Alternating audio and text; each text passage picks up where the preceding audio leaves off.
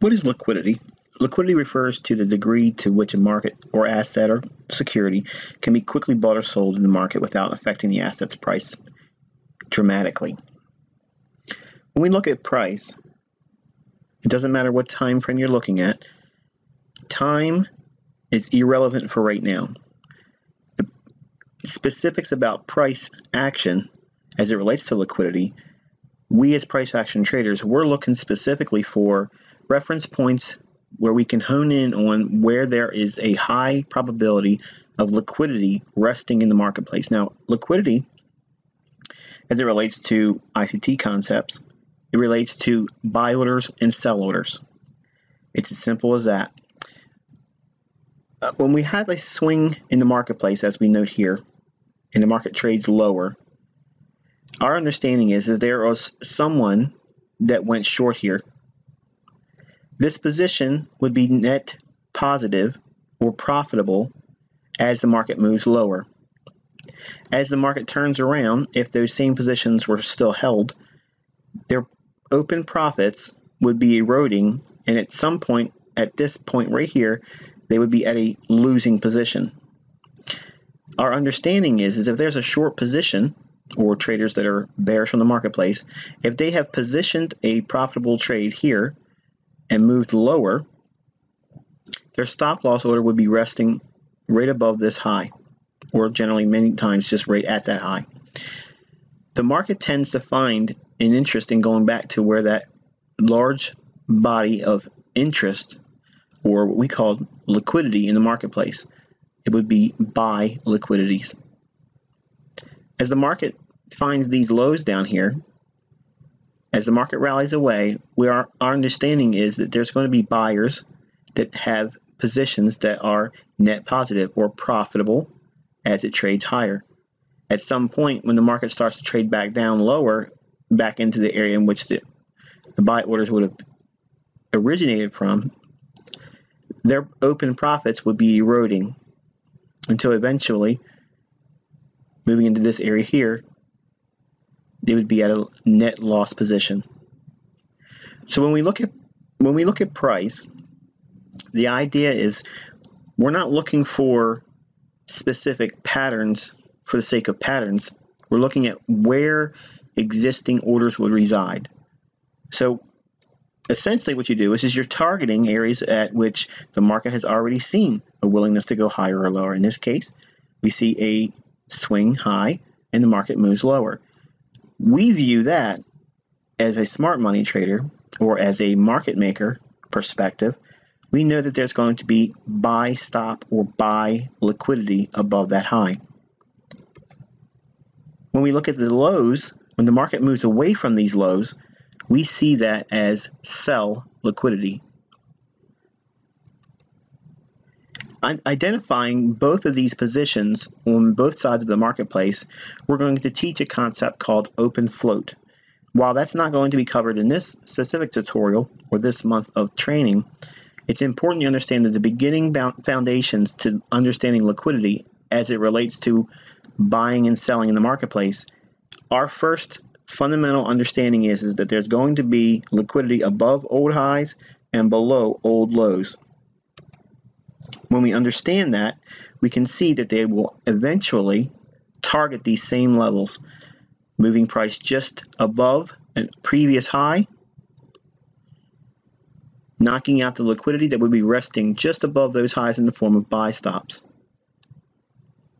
Below old lows, the market will seek liquidity for the sell side or the sell stops, taking those orders out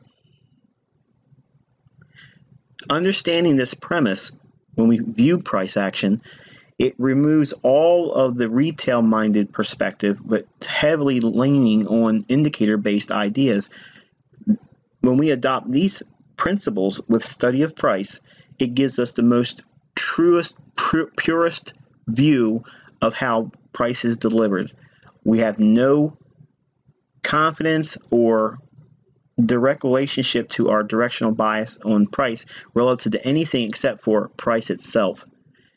If the market's moved from an old high, we know that there's going to be liquidity resting above that old high. If the market's moved from an old low, we know there's going to be resting liquidity below those lows. It's just that simple.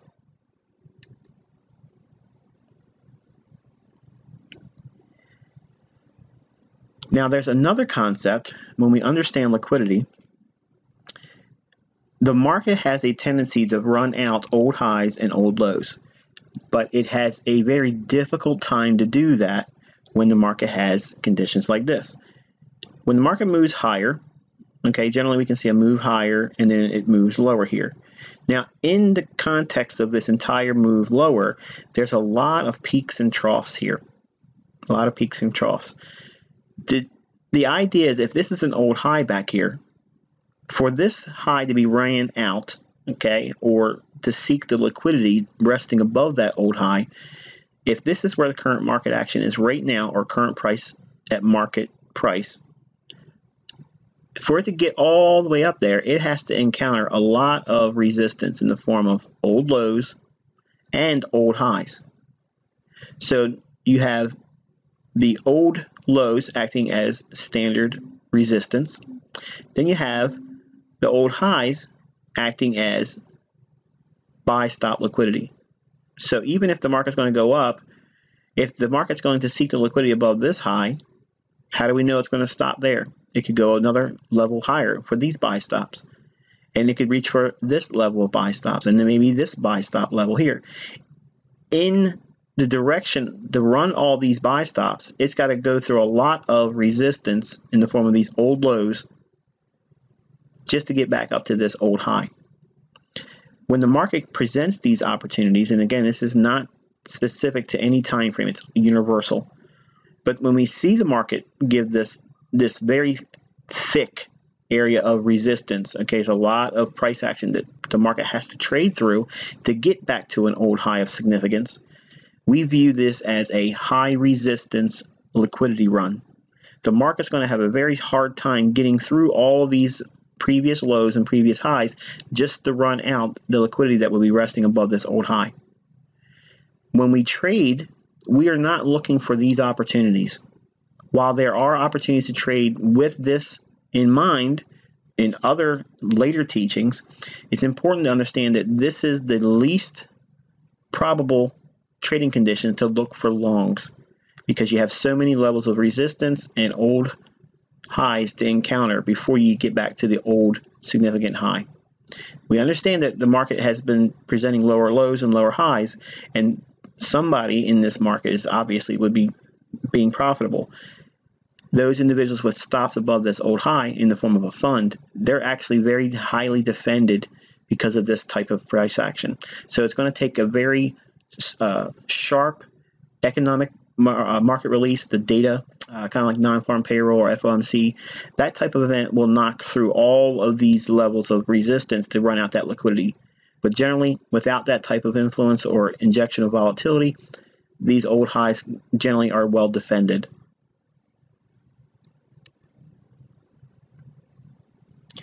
Obviously, the opposite can be said when we see the market make a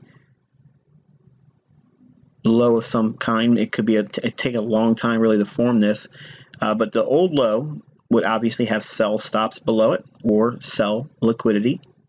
And as the market makes higher highs and higher lows, if we're seeing price action right here, we can't reasonably expect the market to just drop straight down and make a run on the sell stops below this low without encountering first all of these higher lows and higher highs as the market went higher.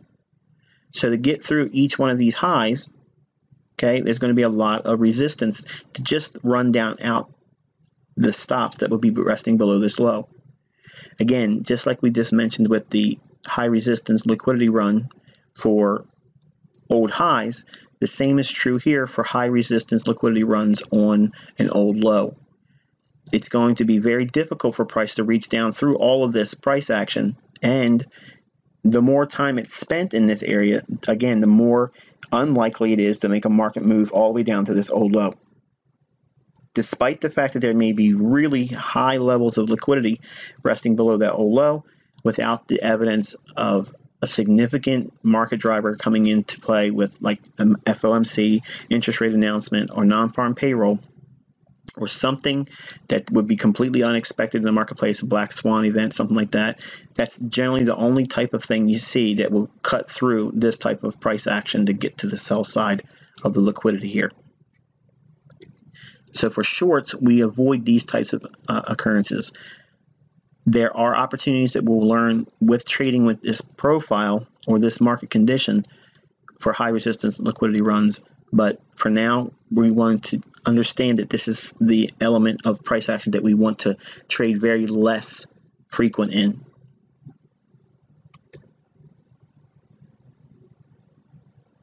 Now, obviously, uh, there's going to be times when the market really provides us uh, uh, an opportunistic time to take action in the market and trade with price action and have very little resistance in our trades.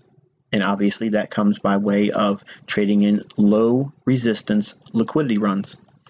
A low resistance liquidity run would be in the form of something similar to this.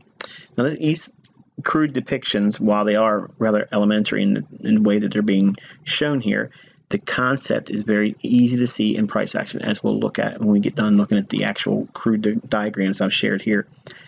If we see the market come off of an old high, okay, and it comes down rather quickly, if there is a very sharp or one-way type direction, very little uh, retracements of any kind, when we see this, okay, once that market breaks below an old low, from that point at which it breaks the old low until it gets through a short-term high, in other words, the market comes down, makes a low here, starts to trade off, comes down, makes a higher low. Once it starts running through, if we get a market break through this short-term high, this run here begins its climb back up into the range that's created by this low being broken so it's being defined by this level here all the way down to this high once it's broken. This area of, of, price action is deemed low resistance. Now, every time that a new short-term high is formed, before this low is retraded to or retested as resistance, every time there's a new short-term high, what's going to form above that short-term high? It's going to have buy stop liquidity. So buy side liquidity is going to be above these old highs.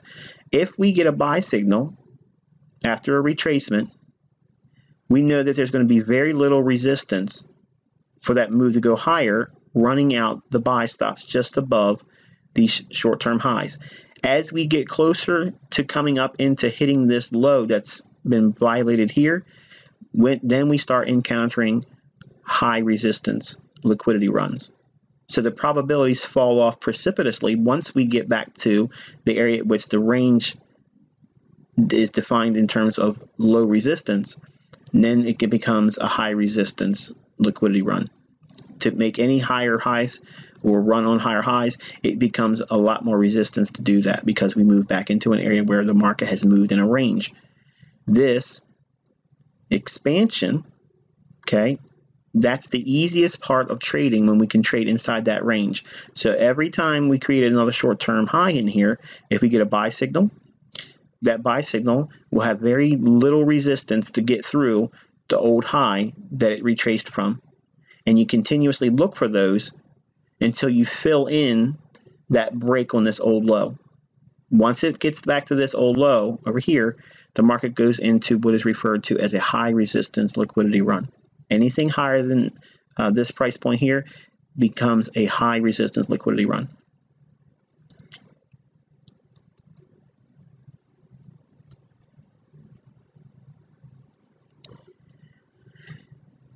much like everything else I've always taught, everything I teach one-sided obviously is easily communicated by using the uh, reverse of it or just turning it upside down. Uh, this is a sell side of the marketplace low resistance liquidity run. Uh, we have a consolidation in here. The market expands, goes into expansion. It breaks above a short-term high. So at the moment the short-term high is broken here, market structure is bullish, and then we go into a real quick run up. The market will create a high, start to break down. And once the market starts trading below an old low, the market will have a very easy time trading back down into the point at which the short-term high was broken on the upside. So all this one-way direction price action, where all of it looks this one-sided for buys only, very little retracements, this is the easiest time to trade in the marketplace, right in here. It's defined by the short-term high that's broken on the upside here. That's where you would begin your point at which it's deemed a low resistance liquidity run. So you're focusing primarily on selling short. Every retracement is going to find very little resistance going lower to run out the previous low. There's going to be what resting below these lows?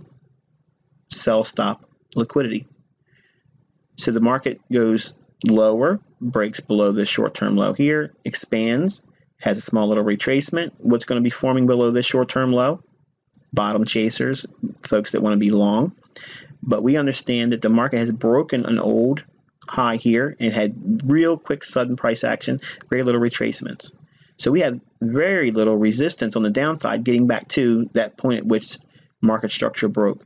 So between this point here and where the market breaks down this low here, this is the easiest area to trade in price action because you have very little resistance allowing price to just cut through all that but you're waiting for a short-term low to form, and every time a short-term low forms, there's going to be sell stop liquidity resting below those lows. Okay, so let's take a look at more examples of a high resistance liquidity run and a low resistance liquidity run. And what makes those uh, two types of liquidity runs different. We have an old high back here, noted here. And the market starts to move lower.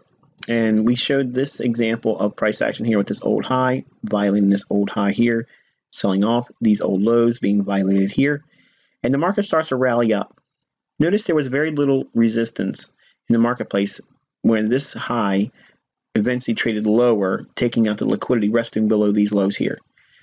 This run from this high, taking out these lows, is referred to as a low resistance liquidity run because we have a longer term high to the left of us and the market has shown a willingness to take out a low. And then we came back above cleared out a stop above the high retraced had an unwillingness to go above this up candle here. So institutional order flow as you'll learn more about throughout this entire mentorship moves back to bearish and expands to the downside expands down to the downside to run out these stops below, these lows. The market rallies up again and fails to get above this swing high. This run higher is a high resistance liquidity run. The fact that it's going to have very difficult time getting above this high is because we've already priced in a longer term high, an intermediate term high, and this high is going to have a very hard time struggling to get through this high. It's going to have a very difficult time getting through it. So this rally up, if we were buying long here, we know that there's going to be a high probability that this is not going to be ran out. The high is going to be in, intact. It's going to be defended. And the higher high over here will be defended. So when price goes back up into this high, this actually becomes a low resistance liquidity run to see price come all the way back down to take out this low here. The fact that we keep this old high in place and every low that forms has very little resistance as each time it goes through, it's like a hot knife through butter. Very little resistance. Every time a low is formed, price goes through those lows. This equal lows here, price trades through those. This short-term low here, price trades through it. These short-term lows here, price trades through it. So the, the bias is bearish. So you want to be focusing primarily on a market rally to take out short-term lows or intermediate-term lows. The difference between that is every rally is going to be viewed as a high resistance liquidity run. It's going to have very difficult time getting above the previous highs. Sometimes it will happen, but generally you're going to find that it's going to have a very difficult time doing that. But because that's built into price action, having a high resistance liquidity run here, it turns into a low resistance liquidity run for you, you to see a move below the short-term lows. Every short-term low is an opportunity to seek liquidity or the market to expand down after a retracement up to take out the stops that rest below the marketplace at every old low. Every single low that you see in price, once we identify where the market is in terms of high resistance or low resistance liquidity, we can find old lows to the left. Market respects it here, comes back, but then now we have a lot of liquidity resting below this low here and this low here, and the market runs right through it. Small little retracement. There's more liquidity below this low here, so it's going to expand down through it. We have old lows back here. So the market's going to do what? It's going to retrace a little bit and then do what? Expand down to take out those stops below this old low over here. The same thing is seen when the market finds a low in the market. The market creates a, a smaller consolidation, makes a long-term low, rallies up, retraces, moves into consolidation, rallies through again. So now we have a lot of price action here. So this old low is going to be well defended. The fact that, that we have a retracement going lower each time Every time the market retraces, that's going to be in the form of a high resistance liquidity run. It's going to find very stiff resistance with violating old lows. The, the old lows are going to be actually defended, and you're going to see buying coming in the marketplace. Your focus is going to be primarily on the highs. Every short term high is going to have very easy runs through them. That forms a low resistance liquidity run the resistance levels are going to be very weak. The support or lows are going to be very strong because the market's going to be capitalizing only on the buy side. Just the reverse of what we saw over here on the sell side, everything's going to be supporting bearish prices. So every retracement higher sets up another price leg to go lower, aiming for the lows to be violated. We've changed the tide here and we made an old low so every time the market retraces lower, that sets up new buying opportunities to take out the short-term highs or intermediate-term highs above the marketplace because what's going to be resting above those highs? Buy stops.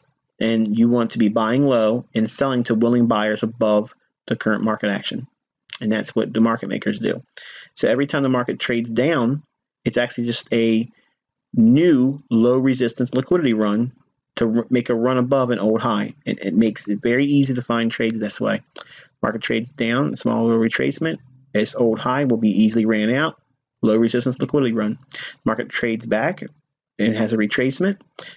Very little resistance to get back up to this old high. It runs cleanly through that. Another retracement here. The liquidity is going to be resting above this old high. And eventually the market expands through it as well.